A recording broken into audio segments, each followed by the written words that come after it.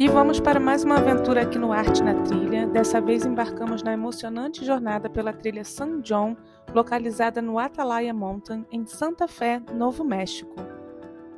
Hoje, o Arte na Trilha vai te levar a uma experiência única em uma trilha moderada que reserva surpresas incríveis a cada passo. Geralmente considerada desafiadora, essa rota oferece uma jornada de aproximadamente 39 minutos, mas nesse vídeo decidimos subir pelas montanhas do Atalaia o que estendeu a nossa aventura por algumas horas. E é claro que vocês estão convidados a nos acompanhar nessa exploração. O Novo México é uma região repleta de trilhas e paisagens desérticas deslumbrantes, e conforme avançamos, mais descobrimos as maravilhas naturais que esse lugar tem para oferecer.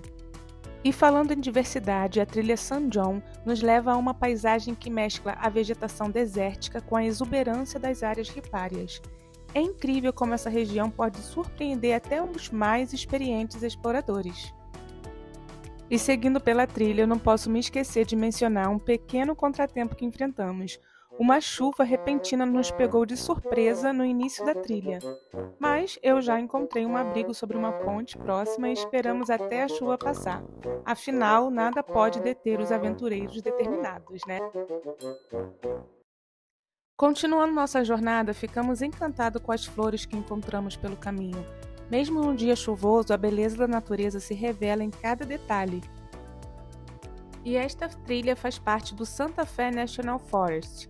Para quem tem dúvidas do que é floresta nacional, parque nacional, tem um vídeo aqui no canal explicando as diferenças dos sistemas de proteção ambiental aqui dos Estados Unidos e parques nacionais. Então, a Floresta Natural do Santa Fé ela conta com 145 trilhas excelentes para caminhadas e observação de pássaros e muito mais. Aqui tem muitas atividades, dá para explorar de bicicleta, tem 17 trilhas fáceis para bicicleta, ótimas para a família. Se você está procurando uma caminhada mais extenuante, como nós fizemos, tem trilhas que variam de 13 a 7 mil pés em ganho de elevação. E independente do que você planejou para o dia, você encontrará uma trilha perfeita para sua próxima viagem à Floresta Nacional de Santa Fé. E nesta que escolhemos fazer neste dia, fica próximo ao São John College, por isso que é chamada de Trilha São John. Como eu já mostrei no início do vídeo, e agora seguindo a trilha nessa época do ano, em julho, junho, quando é final de primavera e começo do verão, a paisagem mistura a vegetação desértica com a mistura da vegetação ripária. E a vegetação ripária é aquela que, como em muitas regiões semiáridas ou áridas, podem ser diversificadas e adaptadas a condições locais. Cresce nas margens dos rios, córregos, lagos e outras fontes de água.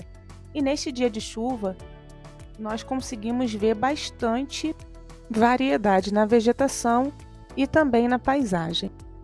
Que apesar do dia chuvoso, o que me encanta no deserto é a mistura da vegetação. Essas vegetações já secas do verão passado com os novos galhos verdes brotando. É como que eu estava dizendo sobre a vegetação ripária. Aqui nessa trilha encontramos vários exemplos dessa vegetação. Tem os salgueiros, eles são comuns em áreas ripárias, e suas raízes ajudam a estabilizar as margens do rio e florestas e também nessas áreas podemos encontrar os choupos, que são árvores altas e de folhas caducas que prosperam em áreas úmidas. Eles são comuns em margens de rio de córregos aqui em Novo México. Também encontramos os álamos, que é o nome que dá a essa montanha, que são parentes dos choupos, também podem ser encontrados em áreas ripárias, e eles são valorizados por sua madeira resistente e sua capacidade de fornecer habitat para as aves e mamíferos. E também temos tamariscos, que, embora não sejam nativos, tamariscos foram introduzidos em algumas áreas do Novo México para ajudar na estabilização do solo e na proteção contra a erosão.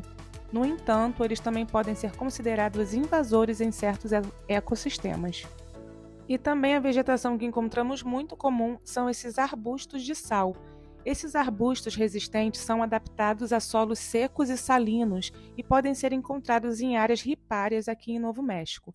Eles também desempenham um papel importante na proteção do solo contra a erosão e fornecem alimentos para os animais selvagens.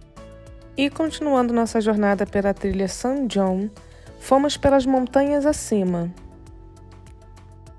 Fomos seguindo por essa trilha leve até nos encontrarmos numa rua que separa a trilha moderada da trilha acima da montanha Atalaia. E nós resolvemos continuar subindo na trilha com a dificuldade mais pesada devido à altitude e à dificuldade de subida. E desde o começo desta montanha já dá para ver a vista linda de Santa Fé ao fundo. Apesar das nuvens bem carregadas, estava um dia muito nublado, as nuvens cinzas e pesadas, mas seguimos trilhando. E como vocês já puderam ver desde o início do vídeo, o solo da montanha do Atalaia é predominantemente composto por argila e minerais de ferro, o que conferem a sua cor avermelhada característica.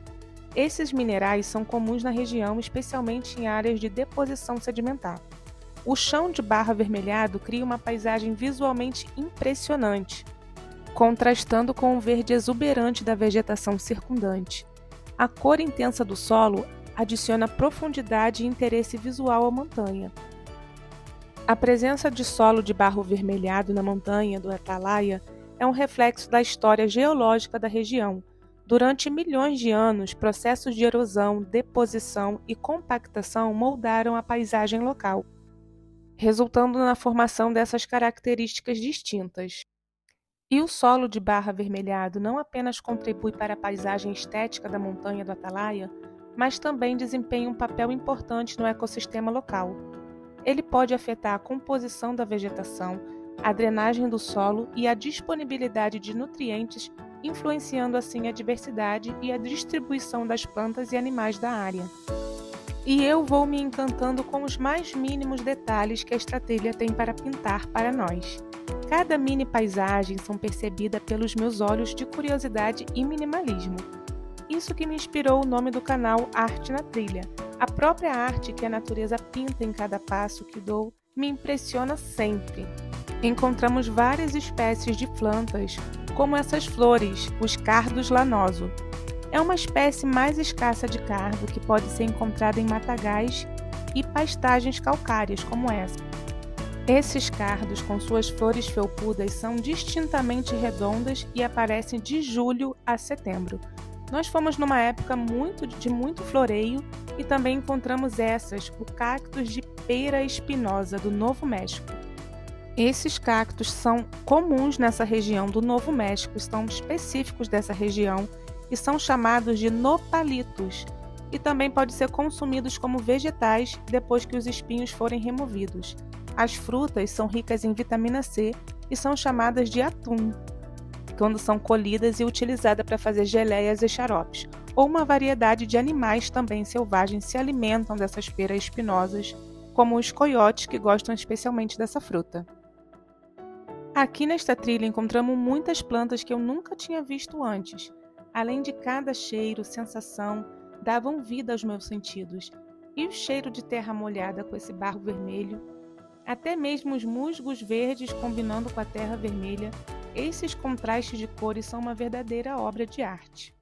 Aproveitamos para brincar um pouco com Merlin, que estava todo concentrado para pegar uma pedra, já que esquecemos o brinquedo dele como sempre. Mas ele corre atrás de pedra, galho, cone. Ele não tem tempo ruim. Merlin brinca a qualquer momento. E na descida, como qualquer santo ajuda, foi bem mais fácil voltarmos vendo o cenário se pintando em nossa volta. Foi maravilhoso, como todas as trilhas. Vale a pena o esforço e o corpo agradece depois. Pessoal, isso foi o máximo que eu consegui captar dessa viagem. Eu espero que tenham gostado desse vídeo e agora eu vou aparecer aqui toda semana trazendo uma trilha ou uma arte diferente. Então, pessoal, esse é o vídeo de hoje. Espero que se inscrevam no canal, que fiquem aqui no Arte na Trilha sempre ligados. Até a próxima arte ou a próxima trilha!